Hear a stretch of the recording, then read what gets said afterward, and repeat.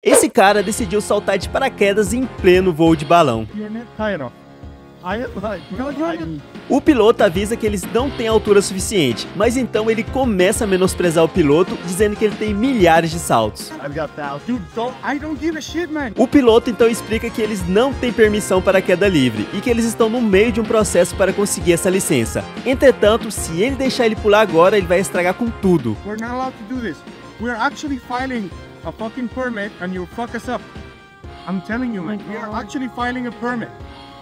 If we do this illegally, man, we're fucked. Have Mas o homem continua insistindo, dizendo pro cara que está gravado que ele não deixou ele pular. Tipo, isso é uma prova contra você, Anta. Sem pensar duas vezes, o piloto resolve abortar o passeio e já pede pro seu amigo em terra para chamar a polícia. I'm going down right now.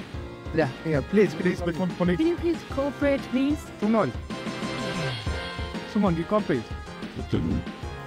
Oh, thank you.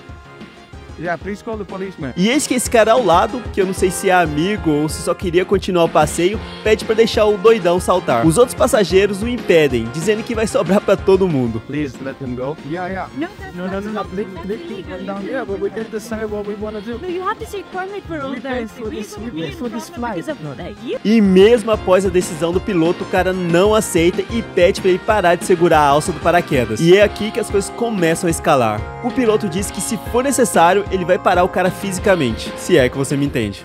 If you don't let go of my hand, I'll Mas get fala you. logo isso. Stop. You let go of my ring. No, I'm not letting you. You're trying to jump, man. I'm not letting you go. I'm sorry. O cara então pega o que parece ser um medidor de altitude e começa a reclamar com o piloto, dizendo que agora não dá mais para ele pular. No, not really high enough anymore.